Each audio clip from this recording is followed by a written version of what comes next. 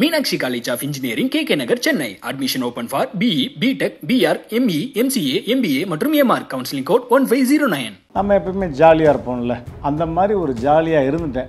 அது அப்படியே கொஞ்சம் கொஞ்சமாக எனக்கு தெரிய ஒரு மூணு மாதம் ஆச்சு. அதுக்கப்புறம் சிவியராகி பார்த்தா இது பிளட்டில் ஃபுல்லாக கலந்துருச்சு. இதுக்கப்புறம் வந்து ஒன்றுமே பண்ண முடியாது. அப்படியே தூக்கி போட வேண்டியதுதான். அந்த கண்டிஷனுக்குலாம் வந்துருச்சு. நம்ம பேசுவோம் ஓப்பனாகவே பேசுவோமே. ஆ நீ ஓவராக குடிச்சிட அதனால தான் ஓவராக ஆடிட்ட. அதுக்கு தான் இன்னைக்கு உனக்கு ஆப் வச்சுட்டாரு கடவுள்னா என்ன அது விஷயம்? என்ன அப்படி? ரெண்டு கிலோ மூணு கிலோ குறைஞ்சவர் அஞ்சு கிலோ ஏழு கிலோன்னு குறைய ஆரம்பிச்சிட்டாரு. ஏன்னா ஒன் டென் இருந்தார் லாஸ்ட் ஜான்வரி தீபாவளி அப்போ செக் பண்ணும்போது நைன்டி ஃபைவ் வந்துட்டார் சடனாக இருபது கிலோ குறைய வாய்ப்பு இல்லை. இல்லைப்பா சம்திங் ஏதோ வித்தியாசம் தெரியுது உங்கள் முகத்தில் அப்படின்னு சொல்லி கேட்கும்போது அந்த டைமில் எங்கள்கிட்ட இருந்து எங்கடா முடியல ரோபோக்கு? நம்மக்கிட்ட ஏதாவது காசு கேட்டுருவானோ? நம்ம மேலே எல்லாத்தையும் தூக்கி போட்டுருவாங்களோ? அப்படின்னு சொல்லிட்டு எஸ்கேப் ஆகிற மக்களையும் நான் பார்த்தேன். இல்லை நாங்கள் கடைசி வரைக்கும் உங்கள் கூட நிப்போன்னு நின்ன மக்களையும் நாங்கள் பார்த்தோம். உடையிற இடத்துல அவர் இருக்காரு. அதனால நீ அடிச்சு திருத்து அது அன்பால திருத்து. என்ன சொல்கிறாரோ அதுக்கு ஆமாம் ஆமாம் ஆமான்னு தலையாட்டு. அன்பை மட்டும் கூட. அந்த அன்பு உனக்கு ஒரு நாள் நல்ல இப்போ நான் திருந்திட்டேன். விஜயும் ட்ரிம்மா ஃபிட்டா வேற லெவல்ல இருக்காரு. நீங்களும் வந்து நீங்க ரெண்டு பேரும் காலேஜ் ஸ்டூடெண்ட் மாதிரி வந்து இல்லை அவரே நடிக்கலாம். நண்பா நம்ம சேர்ந்து ஒன்று பண்ணணும் நண்பா. பெருசாக பண்ணணும் நண்பான் இருக்காரு. I am waiting This video is sponsored by HD formulation dark ஸ்பாட்ஸை மறைத்து இரண்டு மடங்கு நீடித்திடும் இன்ஸ்டன்ட் பிரைட்னஸ் தருகிறது. புதிய ஸ்பென்ஸ் பிபி ஃபேஸ் டால்க்கு இரண்டு மடங்கு நீடித்திடும். ஒரு நியூஸ் வெளியில போடுவாங்க. உள்ள போனா சம்மந்தமே இல்லாம வேற ஏதோ இருக்கும். நம்ம எல்லாம் அதுக்கு பலிகாடு. சோ அந்த விஷயத்துல நான் போய் பெருசா I didn't because I thought it's natural process என்ன நடந்தது? இல்லை அந்த வெயிட்டு குறைச்சதுக்கப்புறம் வந்து எனக்கு சின்ன வயசில் ஜாயிண்டிஸ் ஒரு முறை வந்தது. ஓ. ஓகே அந்த மெட்டாலிக் பெயிண்ட்லாம் அடிக்கும்போது அது வந்து உடம்புல ஷேவ் பண்ணி அப்போ நான் வந்து மிஸ்டர் இந்தியாக்கெலாம் ரெடி ஆகிட்டு இருந்தேன் பாடி பில்டிங்கில் ஸோ உடம்புல ஃபுல்லாக ஷேவ் பண்ணி மு- முடியெல்லாம் எடுத்து டோட்டலாக இங்கேருந்து கீழே வரையும் அந்த பெயிண்ட் அடித்து டூ ஹவர்ஸ் வெயிட் பண்ணி அந்த லைட்டு முன்னாடி ஃபோக்கஸ் பண்ணி டான்ஸ் ஆடி அதுக்கப்புறம் வீட்டில் நைட்டு விடிய காலம் நாலு மணிக்கு ஒரு நாளைக்கு ஆறு ஷோ அட்டன் பண்ணுவேன். ஆறு ஷோ அதோட ட்ராவல் ஆகி வந்து ஏர்லி மார்னிங் நாலு மணிக்கு வந்து அந்த அதுக்கான எண்ணெயை வச்சு தேய்ச்சி உரிச்சு எடுத்து படுக்கிறதுக்குள்ளே போதும் போதும் ஆயிரும். திரும்ப அடுத்த நாள் வழக்கம் போல் ஒரு கல்யாண ப்ரோக்ராம் அந்த கோயில் திருவிழா அப்படின்னு நிகழ்ச்சி போயிட்டே இருக்கும். ஸோ அதில் எனக்கு ஜாயிண்டிஸ் வந்தது. அது வந்து உடனே நான் க- காரைக்குடி கழனி வாசலில் போய் சாப்பிட்டு சரியாயிருச்சு. இப்போ என்ன ஆச்சுன்னா அந்த உடம்பை குறைச்சதுக்கு அதுக்கும் நான் டயட் ரொம்ப சாப்பிடாதனால ஜாயிண்டிஸ் வந்து சாப்பிடவே மாட்டேன். மார்னிங் சாப்பாடே கிடையாது. பசிக்காது இல்லை ஆக்சுவலாக சாப்பாடே கிடையாதுன்னு கிடையாது. டயட்ல பார்த்தீங்கன்னா காலையில் நிறைய ஊர் சுற்றிட்டேன் ஃபுல்லாக ஃபாரின் கண்ட்ரியாக சுற்றினதுனால நோ ஃபுட்டே எடுத்துக்கிறதே கிடையாது. நம்ம எப்பவுமே ஜாலியாக இருப்போம்ல.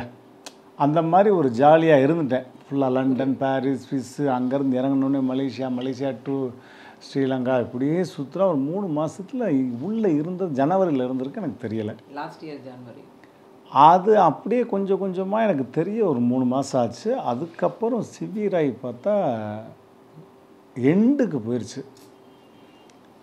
நம்மளுடைய அத்தியாயமே முடிஞ்சுன்ற மாதிரி ஆயிடுச்சு அந்த நேரத்தில் வந்து பிளட்டில் ஃபுல்லாக கலந்துருச்சு. இதுக்கப்புறம் வந்து ஒன்றுமே பண்ண முடியாது. அப்படியே தூக்கி போட வேண்டியதுதான். அந்த கண்டிஷனுக்குலாம் வந்துருச்சு. அப்போ வந்து கரெக்டாக நக்கீரன் கோபால் சார் தான் வந்து தம்பி உடம்பு குறையுதுன்னா? இல்லை ஆக்சுவலாக ஜான்வரி லாஸ்ட் இயர் ஜான்வரிக்கே சிம்டம்ஸ் தெரிய ஆரம்பிச்சிருச்சு. நான் மானிட்டர் பண்ணி சொல்கிறேன் ஏதோ வித்தியாசம் தெரியுது சங்கரா. ஏன்னா ரெண்டு கிலோ மூணு கிலோ குறைஞ்சவர் அஞ்சு கிலோ ஏழு கிலோன்னு குறைய ஆரம்பிச்சிட்டார். ஏன்னா ஒன் டென் இருந்தார் லாஸ்ட்டு ஜான்வரி. தீபாவளி அப்போ செக் பண்ணும்போது நைன்டி ஃபைவ் வந்துட்டார் சடனாக இருபது கிலோ குறைய வாய்ப்பு இல்லை அப்படின்னு சொல்லிட்டு சொன்னப்போ இல்லை இல்லை நான் ரொம்ப ஸ்ட்ரிக்டாக இருக்கேன். டயட்டில் அப்படின்னலாம் சொன்னார். இல்லைப்பா சம்திங் ஏதோ வித்தியாசம் தெரியுது உங்கள் முகத்தில் அப்படின்னு சொல்லி கேட்கும்போது நம்மளுக்கு இங்கே கேகேநகரில் கேஎம் ஹாஸ்பிட்டலில் பாலசுப்ரமணியம் அங்கிள் அவர் ரெகுலராக நம்ம ஃபேமிலி எல்லாமே எந்த ஜுரங்கிறோம் எதுனாலும் அங்கே தான் போய் பார்ப்போம். அப்போ பார்க்கும்போது அவர் சொன்னார் சம்திங் ஏதோ ரொம்ப வித்தியாசமாக இருக்குது ஸோ கொஞ்சம் எல்லாத்தையும் நீ ரிஸ்ட்ரிக்ஷன் பண்ணிட்டு இப்போ பிளட் டெஸ்ட் எடுக்கலையா? இல்ல பண்ணணும். ஆனா பட் அதுல காமிக்கலையா? இல்ல தெரியலையா? இல்ல அது see I tell you something இது வந்து ஒரு நல்ல மெசேஜ் ஆக்சுவலி எல்லாருமே பார்க்குறவங்க ரீசெண்டாக கூட ஒரு ஆர்டிஸ்ட் என்னோட ஃப்ரெண்டு கிட்ட நான் பேசுகிறேன் அவங்க வந்து இந்த மாதிரி ஒரு ப்ராப்ளம் இருக்கு. அப்படின்னு சொல்லிட்டு லேடிஸ் ப்ராப்ளம்னு சொல்லிட்டு என்கிட்ட சொல்றாங்க. நான் பிடிச்சி திட்டி விட்டேன். நான் சொன்னேன் சி நிறைய பேருக்கு இந்த ஹாஸ்பிட்டல் போறதுக்கு பயம். டாக்டர்கிட்ட போறதுக்கு பயம். சொல்லிடுவாங்க அதுதான். அதுதான். எனக்கும் இருக்கு. சத்தியமா அந்த பயம் எல்லாருக்குமே இருக்க வேண்டியதுதான். But we have to know what's happening இல்ல அவர் சொல்லிட்டு மானிட்டரிங் பண்ணிட்டு ஆஹ், ஒரு வினோத் குமார்னு சொல்லிட்டு ஒரு லிவர் ஸ்பெஷலிஸ்ட் அவர்கிட்ட சொல்லி எங்களுக்கு அனுப்புனார் ரெஃபர் பண்ணி. அவர்கிட்ட போய் ஃபுல் பாடி செக்அப் பண்ணி எல்லாம் பண்ணும்போது அவர் தான் வந்து சொன்னாரு. ரொபோ கொஞ்சம் நீங்க எல்லாத்தையும் அவாய்ட் பண்ணிட்டு இருங்கன்னு சொன்னாரு. சொன்னோன்னே சரின்னு அப்போ நாங்க ஸ்ட்ரிக்டா இவரை ரொம்ப பிடிச்சோம். ஸ்ட்ரிக்டா இருக்கணும்பா. ஆமா சொல்லும் அப்போ அம்மாக்கும் அப்படிதான். ரெண்டு வாட்டி ஜாண்டிஸ் வந்து அவங்க வந்து சொல்ற பேச்ச கேட்காம அவர் அந்த வேலையை தான் பார்த்தாரு. பார்த்துட்டு தீபாவளி டு பொங்கல் வரைக்கும் ட்ராவல் பண்ணிட்டோம். பொங்கலுக்கு இந்த லண்டன் லைக்கா ஒரு ஈவெண்ட் போனோம். அப்புறம் இதில் ஸ்ரீலங்கா போனோம். அப்போ போயிட்டு வந்தோன்னா இமீடியட்டாக வாமிட்டிங் டயரி ஆயிடுச்சு. சாப்பிட்றது எல்லாம். தண்ணி குடிச்சா வாமிட்டிங் அதனால தான் நமக்கு ஏதோ ஒரு பயமா வந்தோடனே இவருக்கு பயம் வந்து சரி வாங்க ஹாஸ்பிட்டல் போவோம்னா. எனக்கு என்ன பயம்னா இந்த ஊரெல்லாம் சுத்துனதுனால ஏதோ சம்திங் ஃபுட் பாய்சன் ஆயிடுச்சு அப்படின்ட்டு தான் நான் அப்படி எண்ணத்துல வெரி லக்கி அது அவளோட தாலி பாக்கியம்னு நினைக்கிறேன். யூ வெரி லக்கி ஒரு ட்ரிப் இந்த மாதிரி போயிட்டு ஒரு ஜாண்டிஸ் ஆனவங்க எல்லாம் ஃபார்ட்டி ஃபார்ட்டி டூ இயர்ஸ் ரீசெண்டாக என்னோட ஃப்ரெண்டோட ஒய்ஃப் அப்பதான் நான் இவர் கூட்டு போனேன். அப்போ வினோத் சார்கிட்ட போய் சொன்னேன். கால் பண்ணி இமீடியட்டாக சொன்னேன். ஸ்ரீலங்காலேருந்து வந்தோடனே சொன்னேன் ப்ரோ இந்த மாதிரி அவருக்கு வாமிட்டிங் டயரியா வந்துட்டு இருக்கு ரொம்ப ஒரு மாதிரி டயர்டாக ஃபீல் பண்ணி இமீடியட்டாக நீங்கள் கூட்டிட்டு வாங்க. நம்ம செக் பண்ணுவோன்ட்டு உடனே போவோம். Blood எல்லாம் செக் பண்ணி எல்லாம் பண்ணாரு. ஆனால் பிளட்டு செக் பண்ணிட்டு உடனே எப்படியும் ஒன் ஹவருக்குள்ளே நம்மளுக்கு வந்துடும் கண்டிப்பா. ஒன் ஹவருக்கு மேலே ஆயிடுச்சு. நான் கேட்குறேன் போய் பிளட் லேபில் என்னம்மா டெஸ்ட் உடனே கொடுத்துருவீங்க. இல்லை டாக்டர் ரீசெக் பண்ண சொல்லி ரீசெக் எதுக்கு பண்ண சொல்லியிருக்காருன்னா இல்லை வெயிட் பண்ணுங்க. அவர் சார் எங்களுக்கு இன்ஃபார்ம் பண்ணுவாருன்னு அப்போ தான் டாக்டர் வந்து ரூமில் சொன்னார் ஒன்றும் இல்லை பிரியா இந்த மாதிரி அவருக்கு வந்து ஜாண்டிஸ் வந்து பிளட்ல மிக்ஸ் ஆகிருக்கு அதுதான் இப்போ அவருக்கு டயரியாவும் வாமிட்டிங் கொடுத்துருச்சு. ஸோ கம்பல்சரி அவர் இனிமேல் ஒரு த்ரீ டு ஃபோர் மந்த்ஸுக்கு பெட் ரெஸ்ட் இருந்து டேப்லெட்ஸ் எடுக்கணும்.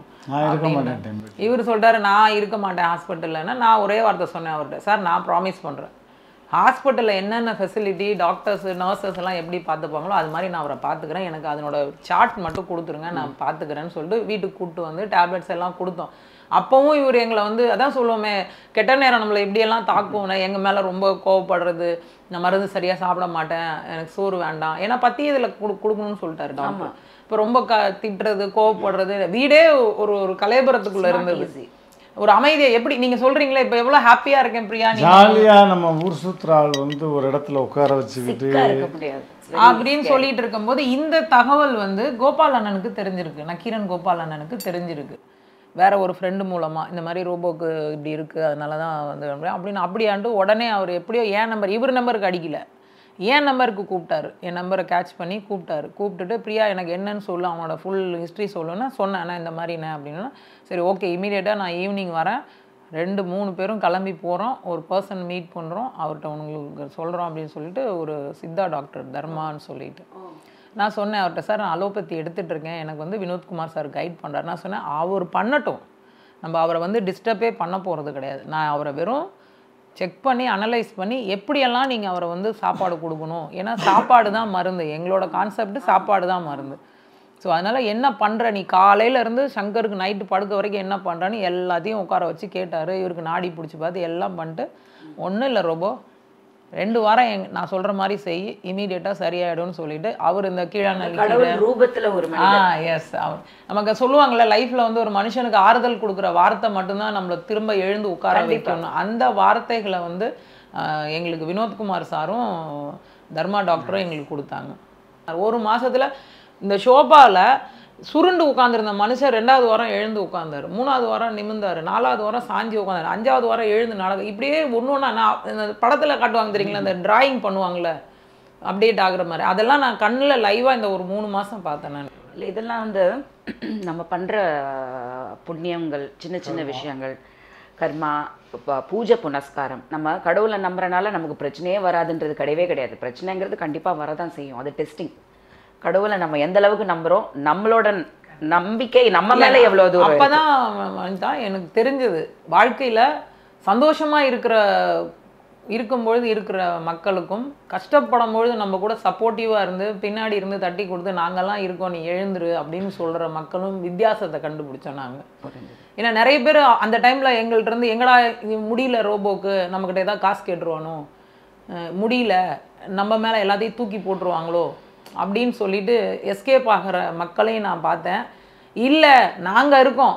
காசு பணம் சொத்து இதுக்கு அப்பாற்பட்டு அன்புன்ற ஒரு விஷயம் இருக்குது சப்போர்ட்டிங்கிற ஒரு விஷயம் இருக்குது நாங்கள் கடைசி வரைக்கும் உங்கள் கூட நிற்போன்னு நின்ன மக்களையும் நாங்கள் பார்த்தோம். டெய்லி நமக்கு தெரிஞ்சு குறிப்பிட்ட மக்கள் தான் அது பேர் எண்ணி சொல்லிடலாம் அதான் சொல்கிறேனே அப்போ வந்து எனக்கு அவ்வளோ பேர் இருந்தாங்கன்னு நான் சொன்னது இப்போ எவ்வளோ பேர் இருக்காங்கன்றதை நான் பேர் சொல்லிடுவேன் சாய்தீனா அண்ணா இருக்கார் அவரு சொல்லணும். அவெல்லாம் எங்கள் அண்ணன்லாம் வந்து திட்டினே இருப்பாப்ப என்னடி பண்ணுற பிள்ளைய புருஷனை பார்க்காம அப்படி இப்படின்னு கத்திட்டு இருப்பார். அதே மாதிரி போஸ் வெங்கடனா ரெண்டு தடவையும் கால் பண்ணிடுவார். காலையில் மாப்பிள்ளை என்ன பண்ணுறான் நைட்டு என்ன சாப்பிட்டான்?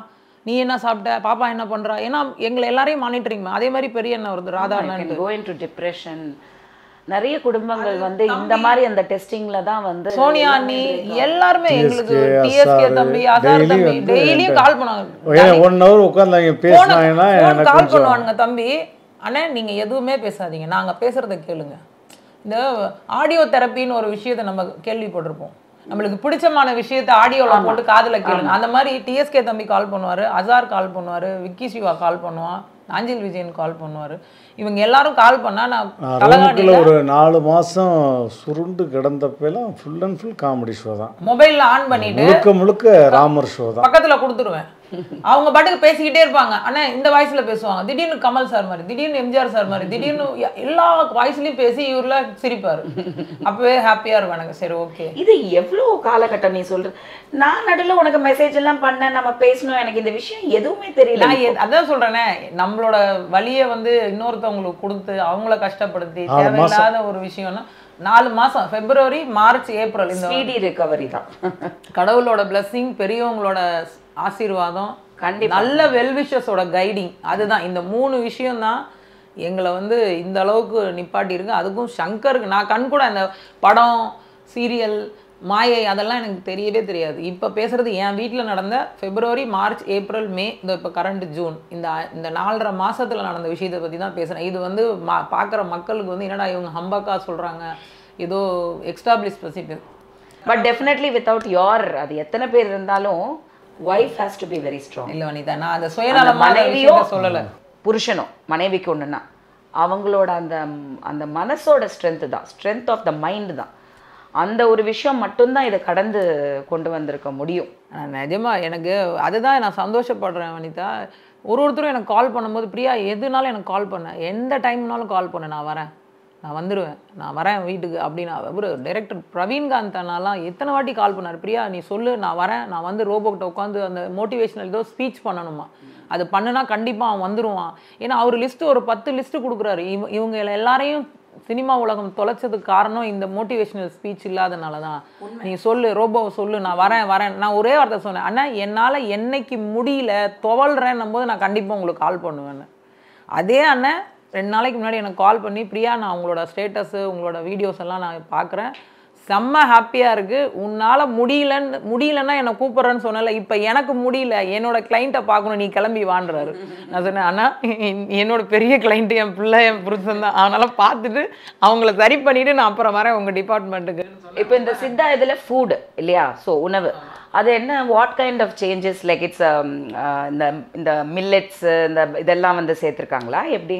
இப்போ என்ன வெஜிடேரியனா இல்லை அதான் காலையில வந்து கஞ்சி பழைய வெங்காயம் வந்து பழைய வெங்காயம் இல்லை பழைய பழைய கஞ்சி வெங்காயம், சின்ன சின்ன வெங்காயம்.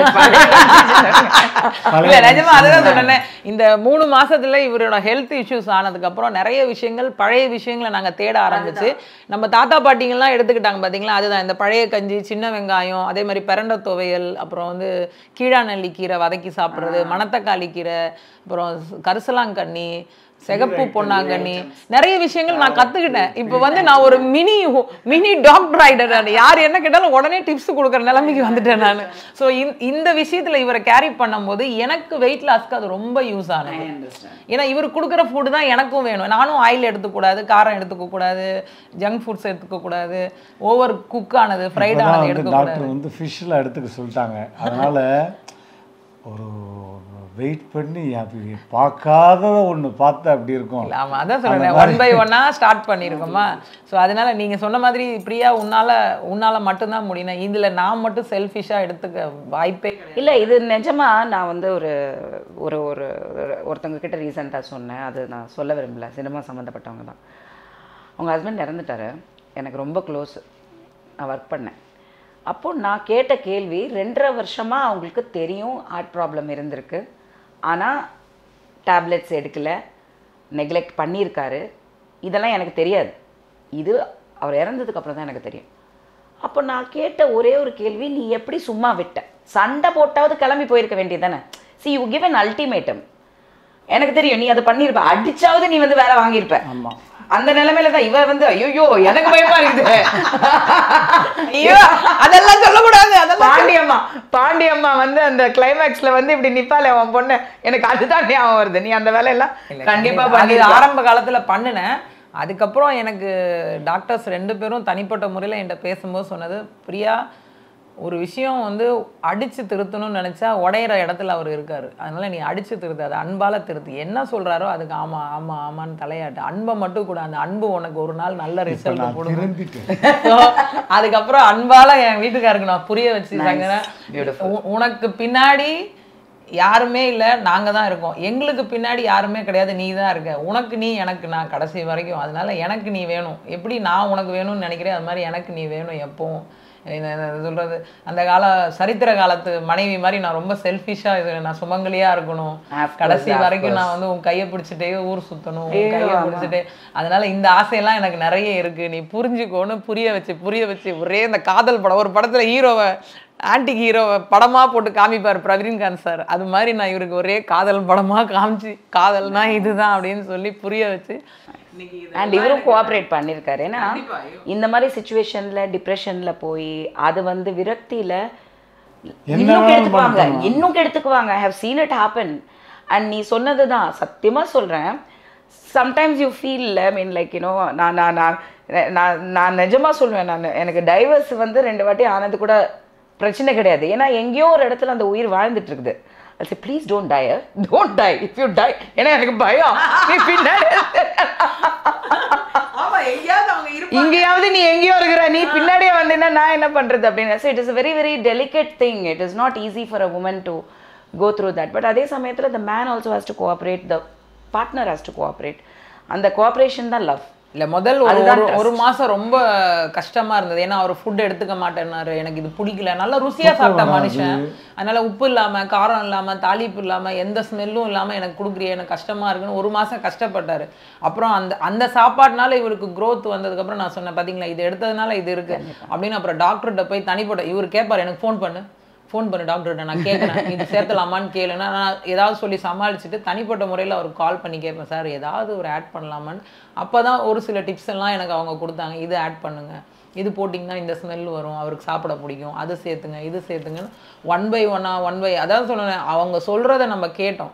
கடவுளுக்கு நிகரானவங்க டாக்டர்ஸ்ன்னு சொல்லியிருக்காங்க. ஸோ டாக்டர்ஸ் சொன்ன விஷயத்தை நான் ஃபாலோ பண்ணதுனால இன்னைக்கு ஒரு ஒரு கந்தல் துணியா இருந்த மனுஷனை இன்னைக்கு செலவை பண்ணி சும்மா அயன் பண்ணி ரெண்டு பேருக்குமே இது வந்து யூ டிசர்வ். அப்ரிசியேஷன் ஏன்னா ரெண்டு கை தட்டினாதான் ஓசை.